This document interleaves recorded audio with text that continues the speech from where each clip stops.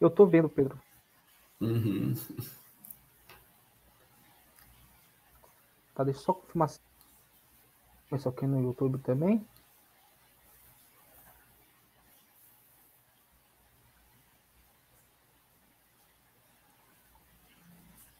Ok, começou. É, bom dia a todos. É, meu nome é Sidney Souza dos Santos. De palestras, né? A primeira palestra que a gente vai ter hoje é com o Pedro. É, eu vou ler um pouco aqui sobre é, o currículo do Pedro. Né? O Pedro é graduado em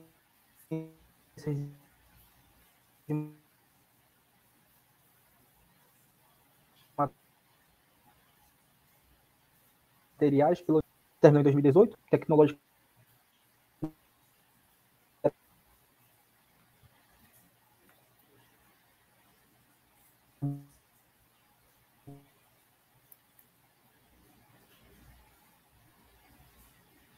Ó,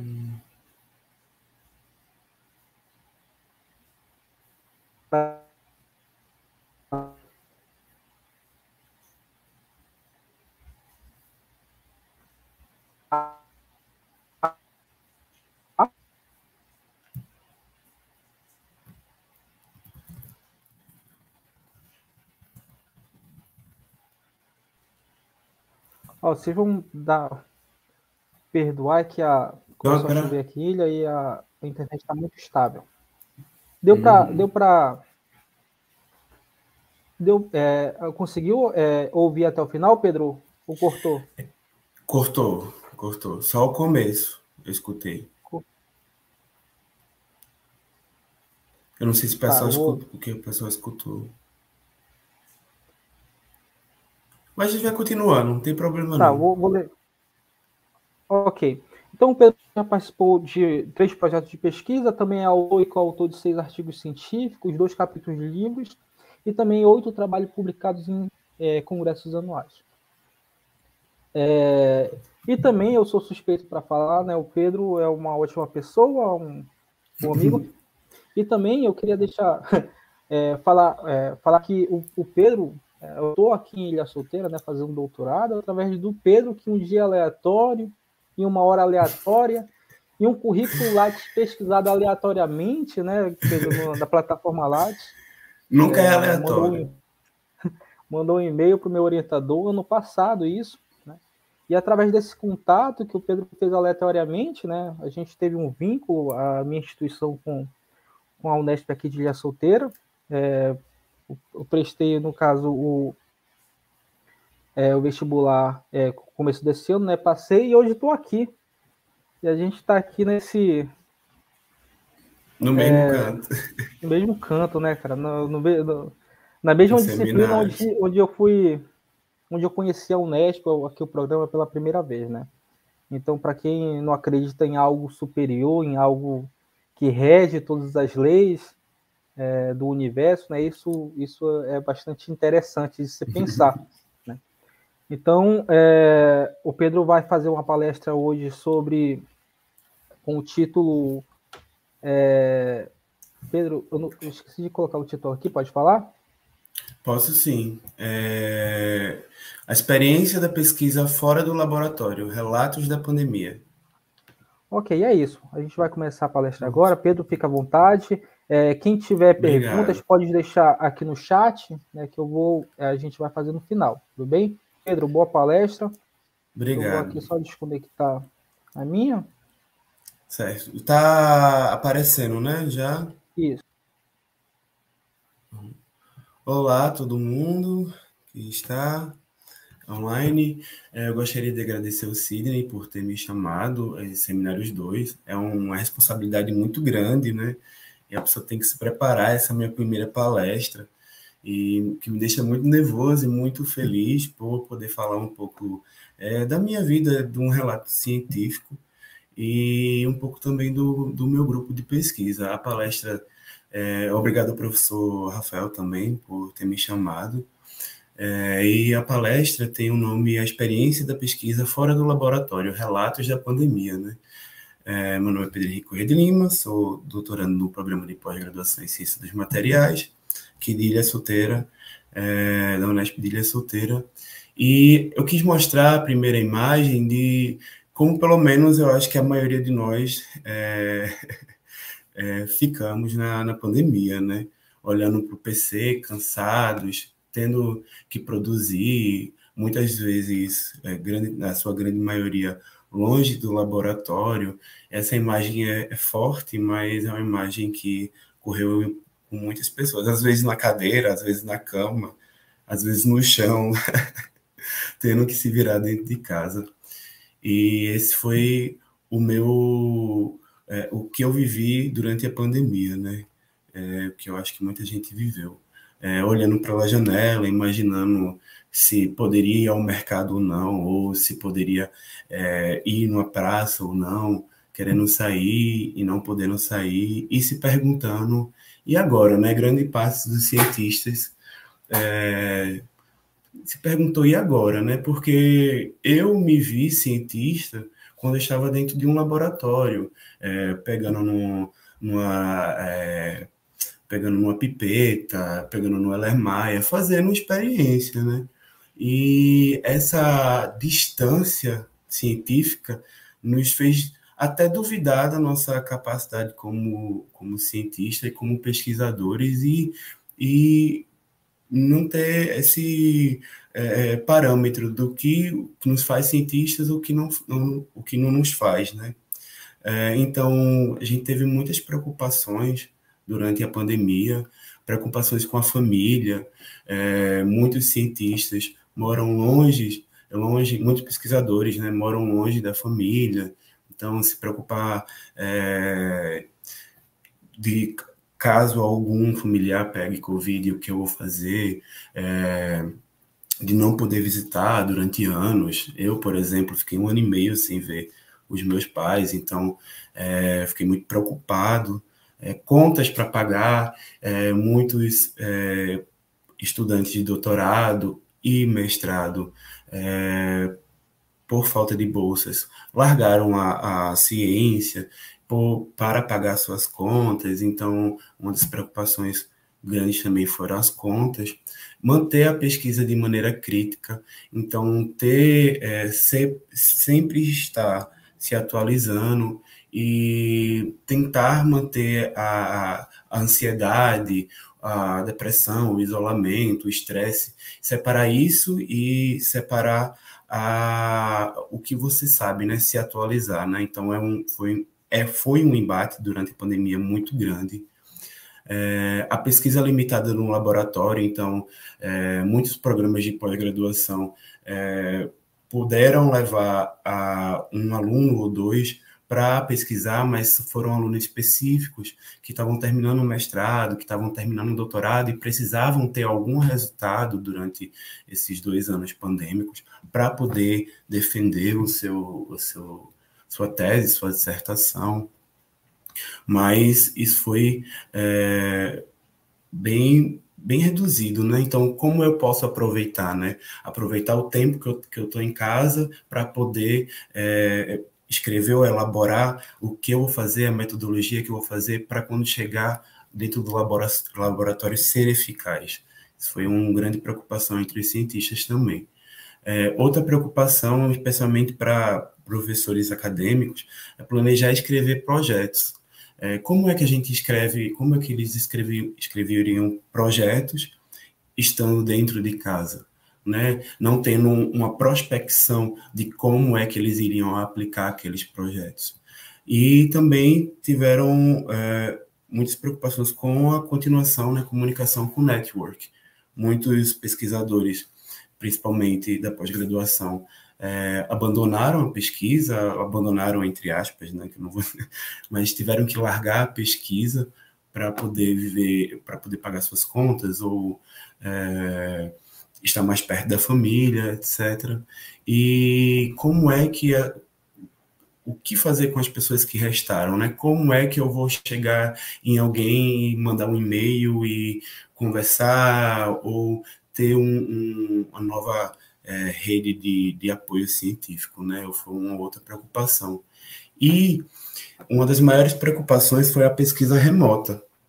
A pesquisa remota foi é, o que deu grande boom, né, no tempo pandêmico, né, tudo online. Então, é, escrever, escrever e trocar a, ideias com outras pessoas, por exemplo, é, de maneira online, congressos, de maneira online, capacitações, é, proje é, projetos de, de, de, pesquisa ou então é, projetos como é, startups, tudo foi de maneira online, né? E nessas linhas de pesquisas, nesses, é, é, essas nuances que, se to que, que, tomamos, né, na pandemia, eu escolhi a escrita. Fazer revisões foi, foi a maneira que eu me senti pesquisador. É, claro que teve outras pessoas que participaram em congressos, enfim, capacitações, mas a escrita foi algo que me trouxe mais para perto da pesquisa durante a pandemia, né, durante todo essa, esse momento.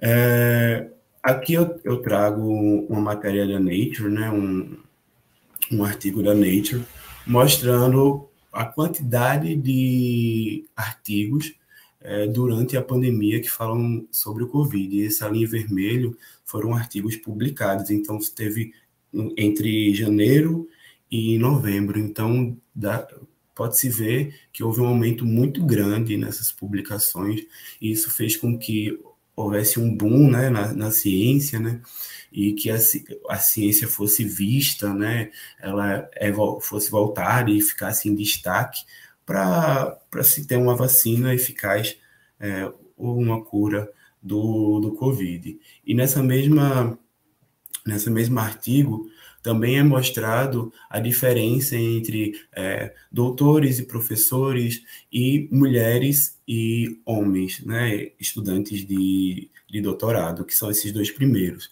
Mulheres e homens, a mulher é laranja e o homem é vermelho. E deu, e dá, deu para ver que há uma diferença muito grande entre é, mulheres que submetem artigos e homens que submetem artigos, e o autor da, do artigo fala que é, provavelmente é porque mulher, mulheres é, cuidam, tiveram que deixar de mão de publicar para cuidar da saúde e educação dos filhos, né? É, no caso, uma preocupação familiar. É, então, é, outro artigo que eu trago também, que é The, The Pandemic and Academic Mothers, né? A pandemia e as mães acadêmicas, é, mostra e corrobora esse artigo de 2021 da Universidade de Milão, né, da, de, com a autora Alessandra Minello, e esse artigo corrobora com aquilo que a Nature é, indicou sobre mães acadêmicas, né? Nele eles falam que as mulheres que tinham sucesso acadêmico eram mulheres solteiras e sem filhos, e que as, as mulheres que tinham filhos elas cuidavam dos filhos enquanto faziam os artigos e elas tinham é, elas eram estavam temerosas sobre o futuro delas e dos filhos, né? Então a pandemia trouxe um momento de instabilidade é, para as mulheres como um todo. É, outra questão também que foi levada durante a pandemia foi sobre a perca de cientistas, né? É, como diz essa matéria da Science, we losing uh, an entire generation of scientists. A gente está perdendo uma geração toda de cientistas. É, a pandemia fez com que a ciência brilhasse, né? Mas o corte de gastos em vários países, principalmente da América Latina, é, ameaça o futuro. Então, como foi dito antes, muitos é, estudantes é, de, de, doutorado, de mestrado, tiveram que largar esse, o, o, o mestrado e doutorado para poder se manter, né, por corte de gastos.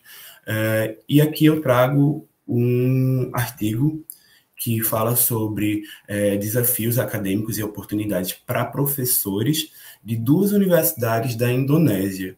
Né? Então, esse, esse, esse corte de gastos, né, ele não só atacou é, América Latina, mas também países como é, é, Indonésia e afins. Né? É, nesse artigo, ele mostra é, como 45 professores universitários de, dessas duas universidades da Indonésia, eles tiveram que enfrentar a pandemia, né? E eles falam que eles não escreveram tanto assim na pandemia é, por vários fatores, pelo alto nível de plágio, pela falta de conhecimento de proficiência em inglês, né? A Indonésia também, como o Brasil não tem a primeira língua inglesa, e o maior fator foi a decaimento de investimento na pesquisa. Isso fez com que eles diminuíssem a quantidade, a quantia de escrita. Né? Uh, então, é, para entender como foi todo o processo de, das pessoas ou de autores, né, de, de, no, de autores em si, eu trago esse artigo que é a vida durante a pandemia, né? fazendo sentido no novo normal. Esse artigo é, do Baruri, ele traz algumas crônicas de 2020 e ele pega autores sul-africanos para relatar como é, é, como foi a pandemia é, nos primeiros 90 dias do, do lockdown, né? Então, eles falam que nos primeiros dias é, eles utilizavam de humor para enfrentar a pandemia, mas é, no final, eles falaram que eles podem contar várias milhões de piadas para melhorar a passagem, né? Mas a realidade é que durante a pandemia é, isso não é piada, né? A, a, a, pandemia, no caso, não é piada. Então a gente viu muita gente no começo da pandemia rindo ou brincando, e depois, quando os números foram aumentando e o isolamento piorou, é, muita gente ficou estressada, ansiosa e se perguntando, né, como é que eu vou escrever? Como é que eu vou estudar? Como é que será que eu vou sobreviver a isso? A gente se perguntou muito sobre várias questões e tentou tentava uma fuga ou, ou algo assim da, da realidade. É, mas eu quero deixar claro que a escrita acadêmica não é a única escrita importante durante a pandemia. Ah, como mostra esse artigo aqui, a escrita expressiva né, também é importante para alguns estudantes, para vários estudantes. Né?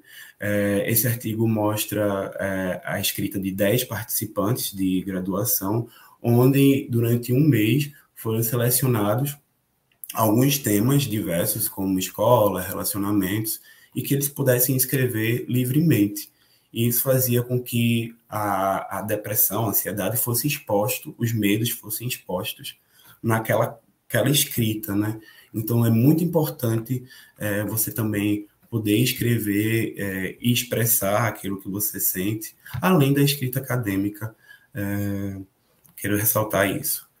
Então, é, como escrever na pandemia? Como eu escrevi na pandemia, no caso. Foi com determinação e paciência ou desespero e lágrimas? Poderia ser esses quatro. ou talvez foram for, aconteceu esses quatro momentos na minha vida. Mas no meu caso, e eu vou deixar bem claro que foi no meu caso, foi com conhecimento prévio sobre aquilo que eu queria fazer então, eu tive um apoio familiar muito grande, privilégios muito grandes, né? Mesmo não estando num ambiente propício a isso, tive bastante privilégios. E eu tive afinidade com aquilo que eu queria escrever. Eu fui descobrindo aquilo que eu queria fazer e fui me deixando permitir, né? É, é a escrita é um momento de, de você conhecer o que aquilo, aquilo que você é, quer, né? E eu aproveitei as oportunidades. Então apareceram várias oportunidades na minha vida que eu pude escolher e, e fazer, né? E, e aproveitar. Uh, eu vou contar um pouco sobre de onde eu vim. Eu sou de Recife, é, mas fui criado numa cidade da região metropolitana de Recife, chamada Igaraçu é uma das cidades mais antigas do Brasil. Inclusive, essa imagem mostra a igreja em pé, mais antiga do Brasil, a segunda mais antiga do Brasil, mas é a primeira ainda em pé. E eu fui criado por um pai cozinheiro que se aposentou e comprou um bar na beira da praia. Então, fui criado com essa visão. e uma mãe enfermeira. E mesmo que Igaraçu fosse uma, uma cidade que é uma cidade bastante pobre, com 3% de esgoto só, e com um nível de, a, alfabético de, de, alfabetização baixo, enfim. É, dentro do âmbito familiar, eu fui criado com muito apoio, com muito apoio financeiro para estudo. Então, eu tive contatos com é, alguns cursos de informática, web design, inglês, muito cedo. E minha mãe sempre quis me botar em escola particular, é, que infelizmente, né, diferente da escola pública, o ensino particular é um, é um pouco mais diferenciado. Não era para ser, mas é, em alguns cantos principalmente, né, como Recife.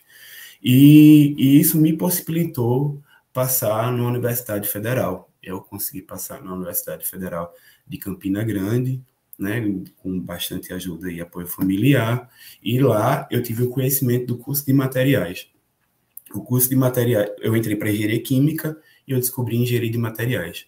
No curso de engenharia de materiais, quando eu mudei para o curso de materiais, eu comecei a trabalhar como IC.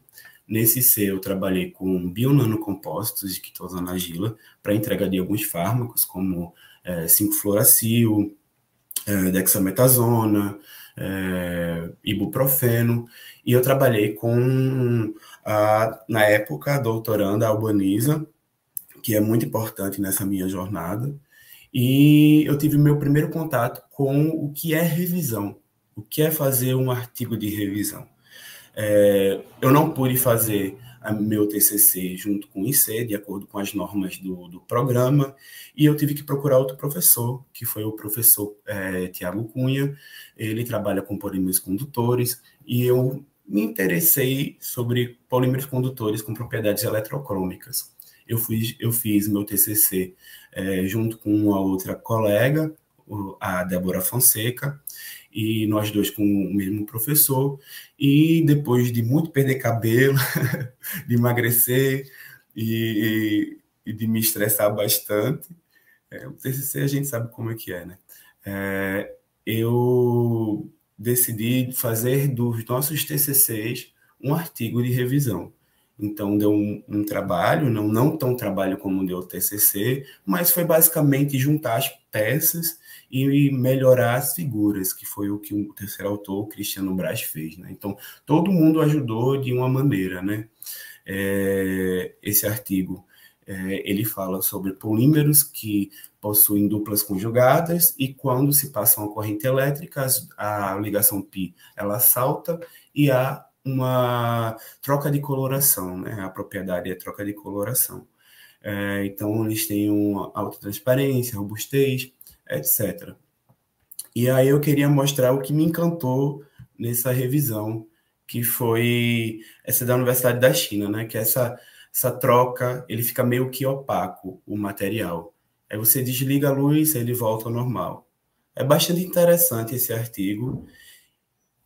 E ele, esse artigo me ajudou a entrar, é, a entrar em um mestrado, né? Eu tentei um mestrado em ciência e tecnologia, ciência e engenharia de materiais na Universidade Tecnológica é, Federal do Paraná, lá em Londrina, e esse artigo me ajudou a passar nessa, nessa universidade. E eu entrei em 2018 e trabalhei com algo totalmente diferente, mas um pouco relacionado com biomaterial, mas eu trabalhei com síntese orgânica, modificação de colesterol com ácido hialurônico para é, formular lipossomas no combate à malária. Foi uma coisa surreal, assim, de trabalhar para mim, que né, eu não tinha nem visto isso, nem sabia que ciência dos materiais, engenharia de materiais poderia abranger isso. E durante, antes do momento pandêmico, eu tinha feito um estudo dirigido com o meu orientador na época, o Renato Viana, sobre modificação de lipossomas. É, não só o colesterol, não o colesterol, mas o lipossoma mesmo, né, o fosfolipídio. O, no lipossoma mesmo não, o fosfolipídio. E eu acho que eu defendi esse estudo dirigido no final de 2019, e aí foi quando bateu a pandemia, em março de 2020. Já em março de 2020 eu tinha que fazer minha qualificação E aí eu perguntei, e agora? Bateu a pandemia. Eu tive que ficar isolado, raramente ia para a universidade, então foi um momento de extremo estresse, de extrema ansiedade e um início de depressão muito grave. Eu acho que se uma pessoa que está aqui não se estressou, teve ansiedade ou teve depressão, teve os três juntos. E como é que eu ia sobreviver, né? Como é que eu ia me tornar mestre? Porque eu teria, no caso do meu TCC, eu não, era obrigado a fazer um artigo, né? Só que no caso do meu mestrado, eu, eu tinha obrigação de sair com artigo, né? Ou quando você entra é um contrato, quando você entra você tem que sair com artigo. E eu não tinha nada para fazer do laboratório, eu não tinha é, nada o que publicar do meu laboratório, porque a pandemia bateu e eu tinha, tinha que trabalhar, né? E aí eu tinha que pegar esse artigo do, do, do estudo dirigido e transformar em um artigo acadêmico, né? Publicar. Então, foi a primeira vez que eu me vi é, escrevendo em inglês. Eu escrevi, acho que, cinco páginas em inglês e o resto tudo em português. e eu tive muito apoio, tanto do professor Renato Viana quanto da Ana Paola. O artigo demorou, eu demorei basicamente um ano. Eu me vi várias vezes sentado, olhando para cima, assim, seis da manhã, dizendo: Meu Deus, eu não consigo, eu não consigo. Então, eu tive um apoio muito grande deles e da, das pessoas que eu que me rodeavam, né? Eu morava em Londrina com medo, é, 3 mil quilômetros longe de casa, mais um pouco perto da minha irmã mais velha que morava em Maringá. E em 2021 saiu esse artigo, né, na Chemistry and Physics of Lipids, eu acho que é JCR 3.5, se eu não me engano, titulado Lipsome Surface Modification by Phospholipid Chemical Reactions são modificações é, no fosfolipídio, né? E através de reações químicas, né? Para a formação de, de lipossomas de, de diversas maneiras. Então, eu mostro basicamente nesse artigo como é que se pode formular, né? Pode se funcionalizar, usar um espaçador, que no caso seria uma bioconjugação, e, ou então tem conjugações com PEG, etc. A gente mostra várias maneiras de, de se modificar um fosfolipídio e os tipos de fosfolipídios que são mais utilizados. Esse artigo foi de grande valia, foi o grande divisor de águas para eu pensar, não, ou vai ou racha, ou eu continuo o doutorado, ou eu termino por aqui. E nesse meio tempo do, do, do, doutor, do mestrado para o doutorado, a minha família a minha irmã teve um problema de saúde e eu fui para a casa dela em Maringá, né? Então, acho que em setembro de 2020 eu fui para lá, terminei o, o, mestrado e nesse, quando eu, enquanto eu estava terminando no mestrado, eu adentrei, estava é, fazendo a entrevista da Unesp, foi bem rápido assim, eu acho que dia 8 eu fiz a entrevista, dia 10 eu defendia, dia 14 foi tudo bem, bem rápido, bem rápido mesmo. E enquanto eu estava é, a Unesp, eu acabei encontrando de última hora, tinha pesquisado bastante, e eu já tinha visto ciência e tecnologia de materiais na Unesp e não tinha visto ciência dos materiais. Então foi um, pesquisando novamente, foi uma grande surpresa encontrar é, ciência dos materiais na Unesp. E eu mandei mensagem para o professor, o professor Renato Grilo, ele é, solícito logo me respondeu, e foi, foram uma série de coisas, né? Eu entrei em março de 2021, é, me mudei para cá, para Ilha Solteira, e três semanas depois houve o completo lockdown. Foi quando bateu os grandes picos de, de contágio de Covid e eu tive que voltar em isolamento como eu não queria é, estar aqui sozinho, né, e minha irmã estava passando pelo processo da doença e tal, eu voltei para Maringá, fiquei na casa deles, mas é, fiquei sem bolsa, né, durante um ano eu fiquei sem bolsa, eu fui ter bolsa agora em março de 2022 por motivos de corte de verbas, enfim, né, a gente sabe o que aconteceu. E eu tive um grande apoio familiar.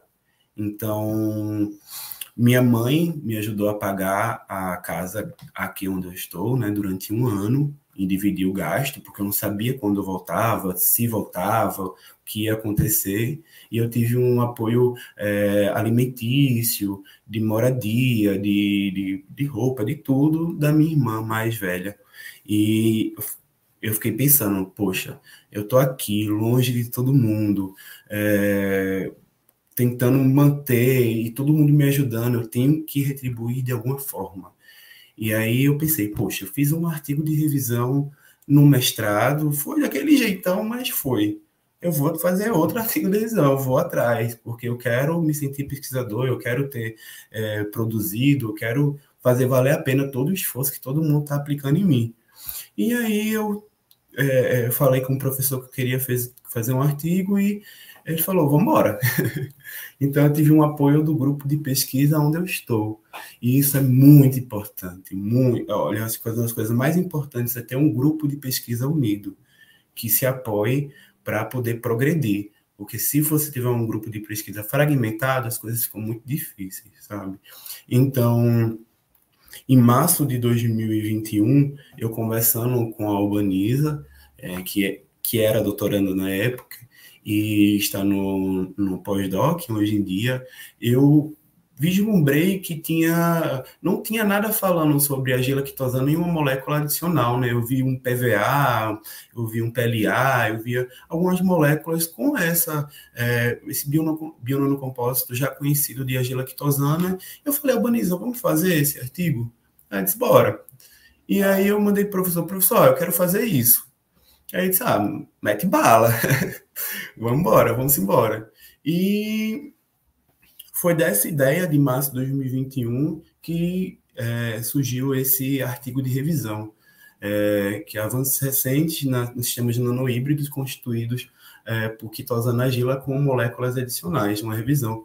Esse artigo foi publicado na Applied Clay, eu acho que tem JCR 5.9, e era uma revista que eu nunca imaginaria conseguir publicar, né? É uma revista que quando no tempo da minha graduação eu lia, sabia o que era Applied Clay, e eu pensava, ai meu Deus, essa revista é muito boa, e nunca imaginaria que eu publicar e conseguir.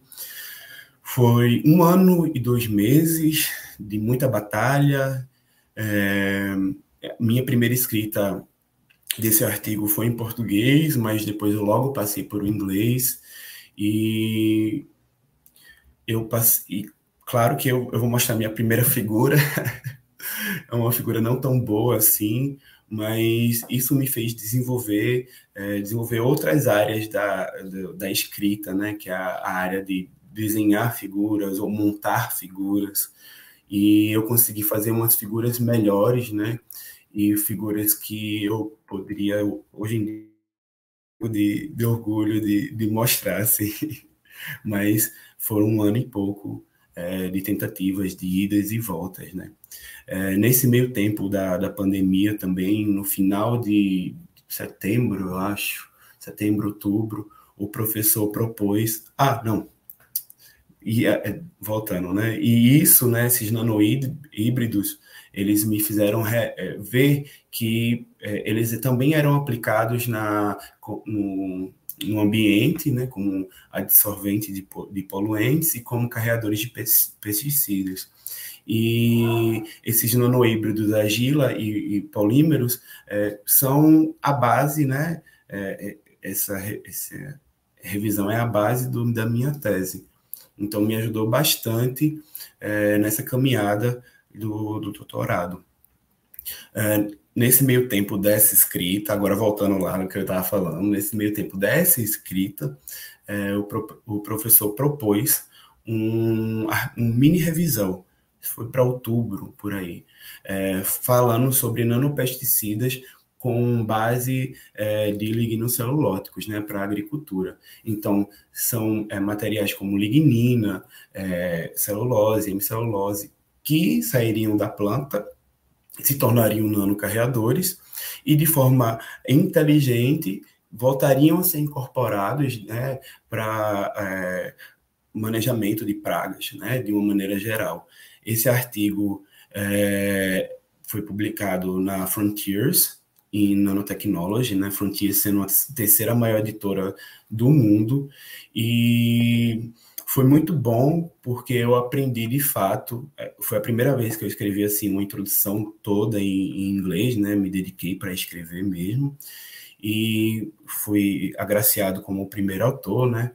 E a Débora e a Mariana é, me ajudaram bastante na, na parte de, de escrita. Esse artigo saiu acho que muito rápido, para minha cabeça é muito rápido, se eu demorei um ano e dois meses para publicar aquele, acho que a gente publicou em quatro meses esse artigo, e foi muito bom para a interação do grupo.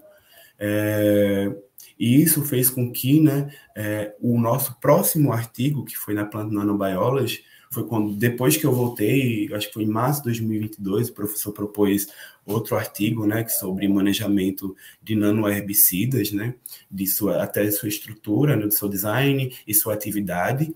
A Mariana foi a primeira autora. E quando esse artigo é, é, foi posto, assim, né, a gente demorou dois meses para fazer. Então, mostra que o, o, que a gente desenvolveu na pandemia não foi é, tempo gasto, né? foi tempo de aprendizado. E aí, esse aprendizado a gente levou para o próximo artigo e conseguiu desenvolver rapidamente. Isso me deixou muito feliz assim. E esse artigo eu pude ajudar em algumas figuras e na parte de nanoherbicidas orgânicos. Uh, mas além disso, né, além é, do, dos artigos que a gente fez, a, o nosso grupo de pesquisa também é, trabalhou com capacitações e com startups durante o, o, o, a pandemia, e a Grow Up, que é uma startup formada pelas meninas Mariana, Débora, é, a Érica e, e, a Milene, ficou em terceiro lugar no projeto da Exal, que foi muito muito bom. E a Mariana também, ela participou dos congressos do CB Mate. E só para mostrar que além da escrita, né, eu, eu fui para o lado da escrita, né? A, as meninas, no caso, foram para outros lados. A Mari fez escrita, capacitação, congresso, a Mari fez tudo. Mas que também existem outras áreas, né? No meu caso, foi a parte da escrita. E é isso. É, obrigado, eu agradeço a CAPES, ao Departamento de Física Química, a CNPq, a Unesp, a FAPESP, ao nosso programa que foi para a CAP 6, é, a Unesp, a Faculdade de Engenharia e ao Laboratório de Bioquímica, de Nanoquímica Metabólica, ou oh, nanoquímica, nanoquímica Ambiental, eu estou com a aula de ontem ainda. tá certo. Obrigado, é isso.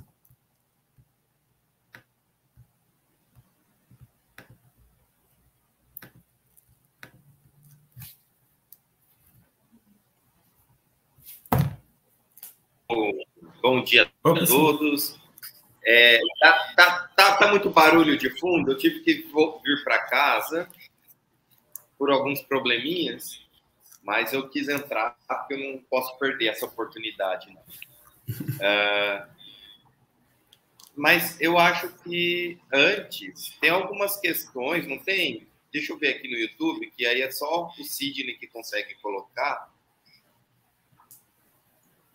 Você colocaria, Sidney, as, as, questões, fazendo favor? Eu acho que tem uma questão que é minha mesmo. Ah, sim, professor. É, eu, desculpa, eu pensei que o senhor queria entrar. É. Não, tranquilo. E pode, pode me deixar aqui que eu quero conversar um pouco também. Tá? Perfeito. Oh, Pedro, eu queria falar que foi uma ótima palestra, muito boa. Eu estava meio nervoso. Eu acho que todo mundo, ah, pelo menos que trabalha com pesquisa, né, se sentiu assim muito sufocado durante a pandemia. Eu fui um deles é, a escrita realmente foi algo que, que foi, era a única coisa que dava para fazer, né? E tinha que fazer uhum. bem feito até. É, não podia frequentar laboratório, né? Então foi um momento assim que algumas pessoas passaram por situações ainda piores, né? Tiveram entes que, que vieram perderam. Isso, uhum. e no meio de tudo isso a gente teve que, que ser produtivo, né? Teve uhum. que dar resultados. E, cara, você é um exemplo a, a ser seguido, né, cara? De realmente. E eu conheço ainda mais, mais ainda a fundo tua história, eu sei é. tudo, entendeu? Então, para mim, você é sensacional, cara. Você ah, obrigado, amigo. Você também. Não é só minha história, não. E com tudo que passou, né? Então a gente vai ter algumas é, perguntas é, que foram colocadas aqui. E a gente é, vai conversar sobre elas uma a uma. É, primeiro vai ser a, a, do professor Rafael mesmo, né? É, vai ver. Por favor, você poderia falar como você vê a questão de ser bolsista e como você lida com isso? É, o que você sente? Como você se vê como um bolsista de doutorado?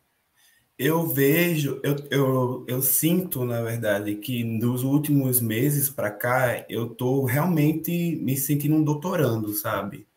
Vivendo coisas que o doutorado possa, pudesse me proporcionar. É porque muita gente ainda, às vezes a gente no começo é relutante, né, do, dos trabalhos que a gente tem que fazer, ou, ou de, de alguns momentos, né, na vida da gente, a gente não quer fazer isso, a gente não quer fazer aquilo, mas eu estou vendo que tudo que na nossa vida é uma oportunidade, né? Uma oportunidade de crescer, de aprender, e vendo esse lado de ser uma oportunidade, eu estou aproveitando, tentando aproveitar tudo que o doutorado está me dando, sabe? E eu estou sentindo que hoje em dia eu estou me tornando um doutor melhor, beleza, com bolsa, isso é importante e tal, mas não só a bolsa, né? O, o que além da bolsa é, proporcionou, né? No caso. Ok, a gente vai ter mais uma pergunta também, também aqui. É... Na verdade, não é nenhuma pergunta, né? É algo, hum. é uma pessoa que se identificou um pouco com essa história que eu acho que vale a pena é, colocar aqui na tela. Compartilhar. A Danubla aqui, Santiago Martins, é, Martins, isso. A pressão foi grande, né? Finalizei meu mestrado é, na pandemia e foi desesperador. Eu acho que todo mundo aqui que está no todo doutorado, mundo. começou o doutorado agora, né? Eu, eu, eu comecei o meu mestrado bem no início certo. da pandemia, então eu peguei o, a pandemia toda, entendeu? Então, é, realmente, eu, eu, por isso que eu achei que valia a pena colocar, que eu acho que todo mundo se identifica aqui, pelo menos que está no doutorado agora, se identifica com essa, com a, com a Danubra, né, cara? Eu acho é, que tu contei já uma história já, né, amigo do meu pai, que eu queria desistir, eu queria desistir. Que vale a pena contar aqui, eu queria desistir do mestrado, assim, disse, não dá para mim, tá tão uma loucura, não sei o quê. E eu não contei nada para ninguém. Eu ia desistir e ponto. Meu pai já ciente, eu acho que pai sabe quando o filho quer, quer desistir da coisa. Ele olhou para mim, ele só olhou para mim e fez: "Você não vai ser dono de bar não, vá lá e termine". Eu olhei assim, acho que foi o gás que me deu para eu, eu continuar. Ah, a Dumbra é, continua aqui, ter uma rede de apoio faz toda a diferença. Parabéns à sua família. É, obrigado. Mas é, é raro ter pais que incentivam, viu? Eu, eu já é. morei em muitos cantos, eu já vi gente que fazia, que era do local, por exemplo, na UTF, eu tinha uma amiga que era da, do local, e o local era, era ao, ao redor da UTF é um pouco mais, mais pobre, né? Onde a mãe ficava perguntando, ah, fazer engenharia química para quê? Ela era um, uma das únicas, únicas pessoas que eu conhecia de perto que fazia o TF e a mãe não apoiava ainda, sabe? Aí eu fico pensando, poxa, se fosse a minha mãe, tava me levando lá para dentro da sala. Entende? É complicado, é. complicado. Agora essa pergunta aqui eu achei importante. Na sua opinião, as universidades poderiam fazer, é, fazer mais para os acadêmicos que sofrem de depressão durante a pesquisa, né, já que a pandemia potencializou as doenças psicológicas, a gente tem estudo falando sobre isso, né, Cristian? Sim, eu acho sim. Eu acho que também é, é, muito complicado, porque a gente vê a academia como se fosse um, um bicho, né? A pressão é muito grande para a gente produzir, né? A pressão tem, tem que sair, tem que sair, tem que sair, tem que sair, tem que sair. E se a gente vê desse jeito, a gente perde a cabeça, a gente cai para depressão, enlouquece. Eu acho importante ter essa, esse balanceamento entre o, a cabecinha e, e o que a gente pode produzir, né? A gente vê muita gente saindo do doutorado, do mestrado, por isso, né? Pela pressão que é o doutorado e o mestrado. É complicado. E, a gente também percebe, exemplo, também que não só a gente tem que ter essa é, é, um, a gente não, é, tem que ter esse acompanhamento, mas também tem que ter um treinamento dos orientadores também, né? Tem que ter é, um treinamento. É porque o mestrado e o doutorado é totalmente diferente da graduação, sabe? Sim, e aí, se a gente se a gente não tem um preparo, ixi. E as pessoas, muitas, muita gente entra no mestrado achando que é uma coisa, e na verdade já vem um baquezão assim, pá, na cabeça da pessoa. E aí tem que estar preparado. Tem que estar preparado. E, e Mas eu acho que vai levar leva um tempinho para adaptação isso. E sim, se tiver sim. algum acompanhamento psicológico, alguém que possa palestrar ou mostrar como é que é, eu acho que tem que ser degrau por degrau para a gente conseguir chegar num local bom, sabe? É, eu acho que também de um, um tempo para cá as universidades assim estão estão trabalhando bastante nessa parte, né, de sim, sim. com palestras. Sim, é... sim. No semestre da gente do seminário, quem apresentou foram duas psicólogas. Sim. Que falavam sobre. Eu acho muito é, importante a gente é comentar importante. sobre isso. E a, e, a gente, e a gente vê que tem muita desistência também de, de alunos do, do mestrado e doutorado, justamente porque não tem esse acompanhamento. Às vezes os professores, os, os orientadores também não têm um treinamento de como lidar hum. com a situação. Porque sofreram é a mesma coisa, né? É porque, querendo ou não, a gente tem uma certa dependência, entendeu? É, é, é, é uma certa proximidade com o orientador. Então, uhum. se a orientação vai bem, entendeu? As outras coisas eu acho que dá para relevar. Agora, quando, quando, a orientação assim, é muito. É, não sei a palavra de se colocar, mas é, é muito exigente e, e, o orientador não procura saber assim o, mínimo como, como o aluno está eu uhum. acho que essas coisas causam muita desistência no programa eu acho que da onde eu vim teve muita desistência durante a pandemia por, por causa disso entendeu uhum. é, não, não houve treinamento para os orientadores até porque era uma coisa nova né e os orientados não souberam lidar com o momento. Então acharam por. Também tem um caso de alguns, alguns orientandos aproveitarem de, de orientadores também, né? Tem todo esse aparato também. Tem, é, uma, é uma via de mão dupla.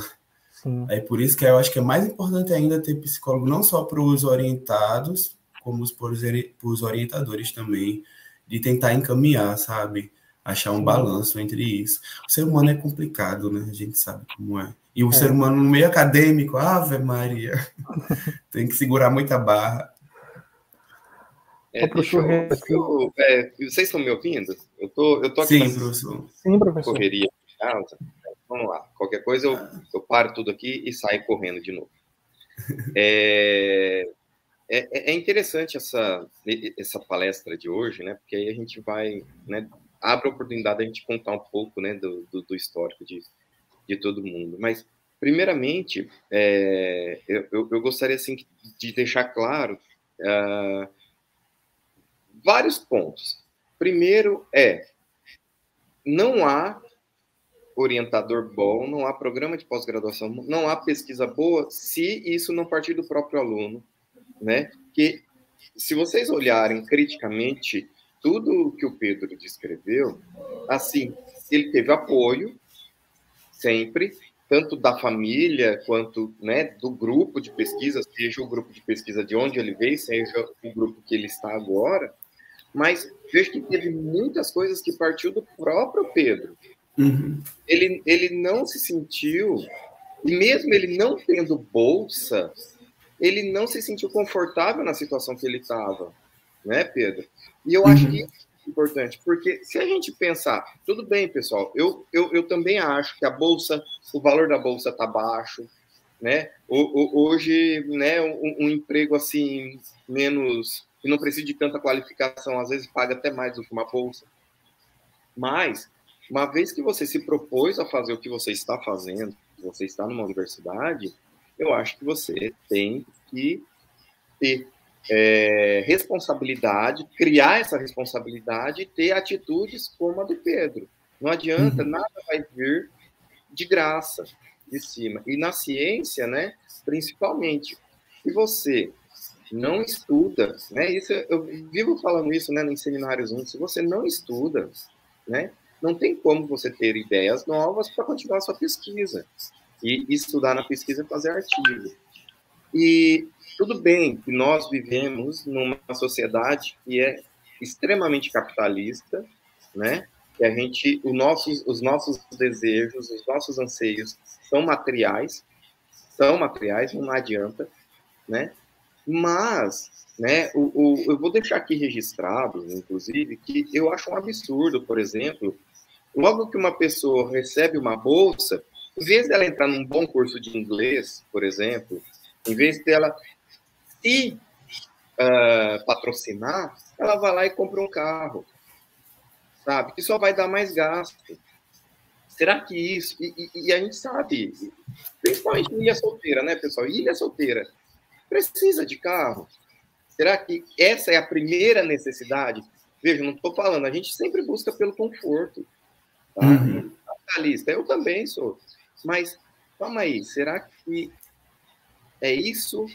É, é essa a sua primeira necessidade? Né? Eu acho que isso a gente tem que se perguntar. E foi isso que o Pedro respondeu aqui hoje. Qual foi a primeira necessidade dele? Né? A primeira necessidade é, eu acho que você falou algo muito né, é, é, parecido com isso que eu vou falar agora, é dar o meu retorno, dar o retorno para quem? Para o meu pai.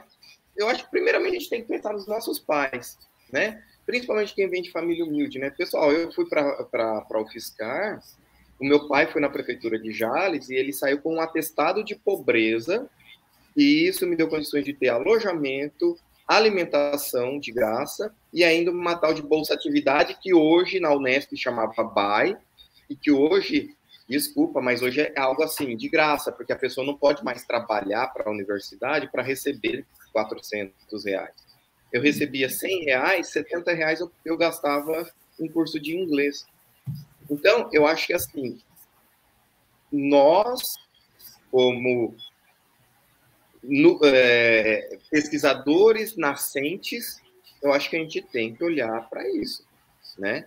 Eu acho que e, e, e, o meu principal interesse, depois de uma conversa que eu tive com o Pedro e convidei ele para esse seminário, foi isso, porque eu senti isso nele e ele fala de uma maneira tão apaixonante, né? Eu, eu, eu, eu gosto da pesquisa, professor. E, e, né, e, veja, pessoal, quem nunca fez um artigo de revisão, eu nunca fiz, mas eu acabei de escrever um, um capítulo de livro que é quase a mesma coisa em termos de tra... é muito trabalhoso. É mais é. trabalhoso do que o artigo do seu trabalho. Por quê? Porque você vai usar figuras que não são suas, aí você tem que pedir autorização daquelas figuras. Então, é, é um outro mundo. Mas veja a importância. Ah, really? We do come here with We come here with. Oh, wave goodbye to everyone. Wave goodbye to everyone. Bye. Ah, tira. Sei. E, então, assim, é, é, muito, sabe, é muito importante isso. O, o, Pedro, ele praticamente definiu, ele fez o mestrado dele, essa história eu não sabia, e ele definiu, né, o, o doutorado com base né, nesse artigo. E, e veja que o primeiro né, desses dois últimos foi, novamente, partiu do Pedro.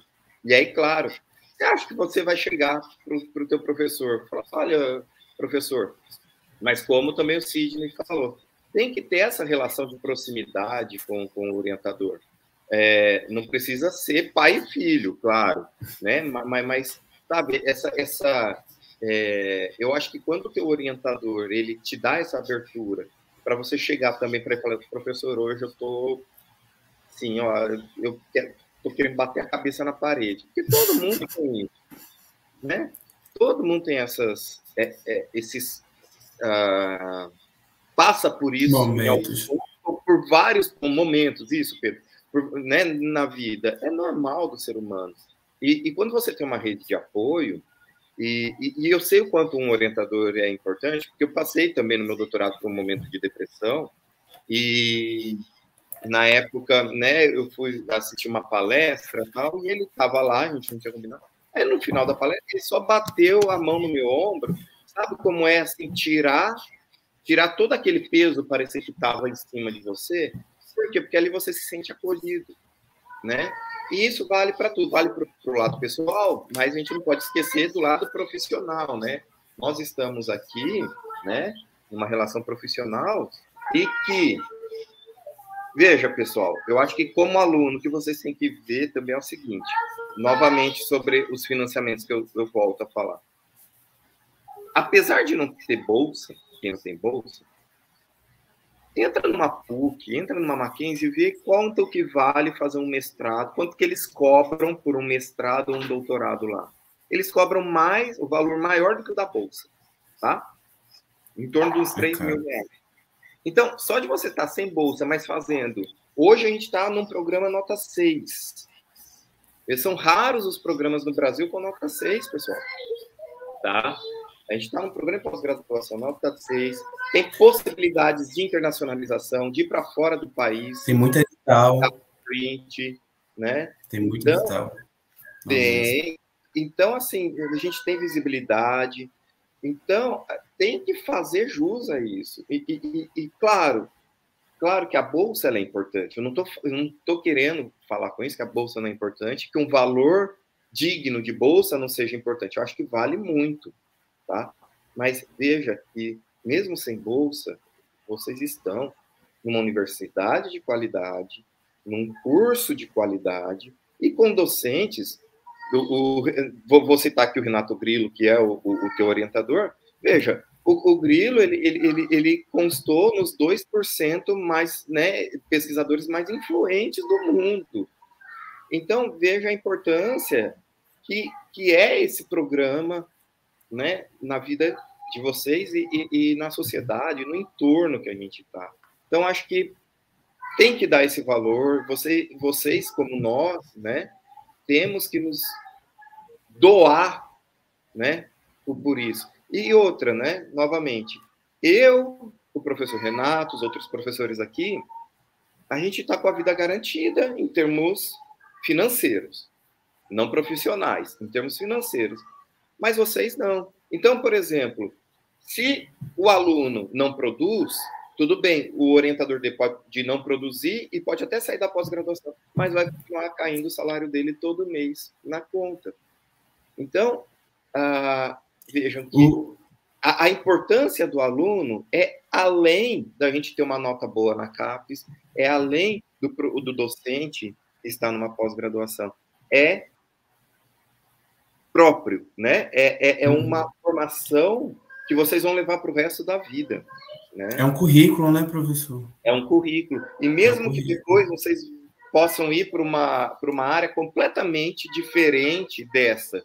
Mas veja, o, o, que é o, o que é o legal de se estudar, de se esforçar, de aprender coisas novas, é que isso cria novas sinapses no nosso cérebro, e aí a gente consegue lidar com situações que pessoas que não passaram por isso não conseguem a gente consegue resolver problemas, pensar na solução de problemas que pessoas que não passam por isso não saberão ou terão dificuldades extremas com isso.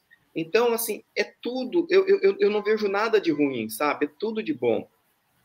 Então, é, eu acho que é, é, essa valorização do nosso esforço, da, do ambiente que a gente está, da, da, a mamãe, a mamãe mamãe não sumiu, não. É, sabe, da, da instituição que a gente está, do, da, do imposto que as populações. Porque quem paga imposto é, é o mais pobre. É o mais pobre. Quem é dono de empresa, ele não paga imposto. Ele coloca o imposto no produto que você compra. Então, dono de empresa não paga imposto. Quem paga imposto é a classe média para baixo. Então, a gente tem que ter também essa consciência social. Veja, né? Um pobre coitado que não tem nem condições de mandar um filho para uma universidade, ele está me sustentando aqui, né?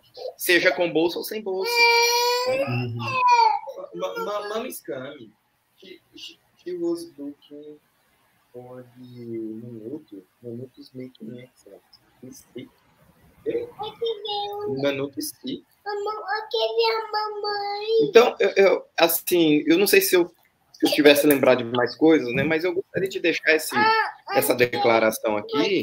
E, e, e, no meu caso, vocês sabem que eu sou muito aberto, vocês podem vir conversar comigo, independente de não ser mais o coordenador, né? Mas eu sou docente, por isso que eu gosto de seminários 1, gosto de seminários 2, porque eu, eu, eu, tenho contato com todos vocês, eu não tenho contato só com os meus estudantes, né, com os meus orientados. E isso é muito bom, e eu me animo toda vez que eu vejo vocês apresentando o que vocês estão fazendo, falando, olha, saiu mais um artigo, né, do fulano, do aluno. Eu, eu, eu sinceramente me sinto realizado, porque, eu, queira ou não, eu, né, por ter pelo menos estado com vocês nessas duas disciplinas, ou uma delas, eu, eu me sinto re realizado por vocês, sabe? Eu, eu gosto de ver isso, eu gosto de ver esse ânimo, e, e, e isso move a gente, tá? Porque se a gente vê vocês animados, a gente se anima. Porque nós também, como vocês falaram, a gente também tem depressão. A gente também passa por uns perrengues, né? E, e então, assim, é, é, é, são fortalezas, né, que se apoiam, tá, pessoal? Então, eu gostaria de deixar isso aqui registrado, tá? Obrigado, professor. É isso mesmo. Ok, now we have to clean your hair. Bem, eu, eu, vou, eu vou aqui o meu, o meu áudio, né? Porque vocês já viram aqui, né? É, tá procurando pela mamãe. É, e tá ó, no slime aqui. Wave é. goodbye. Wave goodbye. Say bye bye. Bye. bye. Então, obrigado, pessoal. Mas eu tô por aqui, vocês continuarem, tá? Ah, você vai ser fazer na batedeira. Na batedeira, let's go. Let's go. Até mais, até mais. A gente tem aqui o comentário do professor Grilo, Renato Grilo. Parabéns, Pedro, pela última palestra. Um prazer muito grande trabalhar contigo. Você é uma inspiração para todos nós. senhor também, também, professor. O senhor também é uma inspiração para todos nós. É muito bom trabalhar com o senhor, pode ter certeza. Ok, a gente tem aqui o comentário da nossa colega. Parabéns pelo desenvolvimento da palestra, pela ótima motivação e pela troca de experiência sobre esse momento complicado para os pesquisadores. Obrigado, Tato. Obrigadão. A gente vai ter uma pergunta aqui de novo da, da, da Nubla, né? Qual dica você dá para aprimorar a escrita? Né? E como o seu processo e como é o seu processo de desenvolvimento? Leitura eu leio bastante coisa, muito, muito. Para formar o artigo de, de revisão, por exemplo, acho que tem 184 referências, aquele artigo da, da Applied Clay. Então, não foram só 184 artigos que eu li, eu li livros, e tentar montar, de alguma maneira, não ter medo de, da escrita, né? Tentar montar um parágrafo ou dois parágrafos, botar prazos para entregar, e quando, se você tiver um professor que se dedique, né? Eu mandava para o professor Renato, ele rapidamente já corrigia e mandava novamente para mim. Não foram, não foi uma, duas vezes que eu mandei para o professor, acho que foram dez, quinze, foram muitas vezes. Tem que trocar figura rapidamente. Teve momentos que, perto de, de finalizar, Estavam a minha família me esperando para o aniversário da minha sobrinha, eu trocando as figuras, porque eu não tinha visto copyright e, e correndo e tem que se virar e tal. Mas a parte de escrita é ler bastante e não ter medo de errar. Saber que quem vai corrigir aquilo são especialistas na área. Então, se voltar a pancada, ele vai dizer, ó, que tá errado. E você vai aprender, entende? Essa é a parte de aprendizado. Mas se eles é, é, é, se eles veem que há potencial, eles, eles não vão negar seu artigo. Eles vão dizer, ó, oh, tá aqui tá errado, ali tá errado, muda isso, é isso que você quis falar, mas vai estar lá. Essa é parte, toda essa parte de mestrado e doutorado é a parte que você tem para aprender, aprender a errar. Mais à frente já pós-doc não é considerado o, o, estudante mais, né? Então é a parte de, de, dos frutos, dos louros que você plantou, né? É, e como você tu falou, não tem como a gente é, escrever sobre algo sem conhecer, né? Para conhecer tem que ler, ler bastante. Ler muito. A gente tem é, uma. Graças a, Deus, o, o meu mestrado, jun, é, junto com tudo isso que teve na pandemia, teve muito apoio psicológico da minha família e principalmente do meu orientador. E sempre estava ali presente, é, que sempre estava ali presente para mesmo à distância, né? Uhum. É, uma, pessoa que eu vi falou, né? uma pessoa que eu vi crescendo foi o Luiz. A é, parte de, de apresentação. Muito bom esse crescimento. Nossos colegas aqui dando é. os parabéns. Obrigado, gente. E é isso, Pedro. É... Você tem mais Obrigado. algo a acrescentar? Não, é, é, Acho que é isso. Obrigado por me chamar mais uma vez. Foi é, bastante proveitoso. Eu tive que ler um pouco também sobre como foi não só a minha vida, né? Tentar mostrar um pouco dos artigos e tal. Isso me fez ver outras perspectivas que não a minha. Isso me ajudou bastante também. Muito bem, Pedro. Eu quero agradecer muito a, a sua presença. Eu que agradeço. Acho que tá, todo mundo estava é, esperando uma palavra dessa, né? Um, que, acho que todo mundo que passou pelo, pelo que a gente passou, né? E teve êxito como você, é muito bom a gente ter, ter essa, essa experiência de vida, né? Espero algo, que todos tenham, né? A gente algo que a gente todos. possa nos espelhar, né? e eu me espelho em vocês também, Oxi, não é só eu, eu que espelho os outros, não. É, muito obrigado, Pedro. Ah, obrigado, obrigado, a todos que, que puderam assistir até aqui, tá? Que puderam acompanhar. E falar que a gente vai ter mais palestras, tá? Aí a gente vai divulgar. É, acho que próxima semana já tem o convidado é, marcado. A gente se vê até lá. Obrigado, Pedro. A gente finaliza aqui, tá bom? Tchau, tchau. Tchau.